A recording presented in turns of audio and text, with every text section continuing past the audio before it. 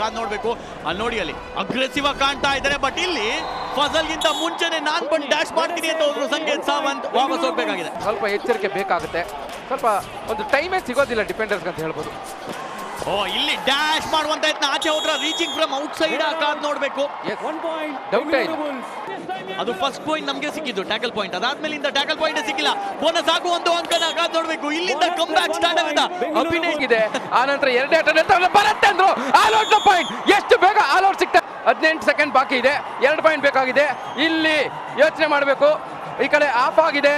O bonus of ಆಗಿದೆ. ಇನ್ನು ಹನ್ನೊಂದು ಸೆಕೆಂಡ್ ಇದೆ. ಒಂದ್ ರೈಡ್ ಮ್ಯಾಚ್ ಡ್ರಾ ಆಗುತ್ತೆ.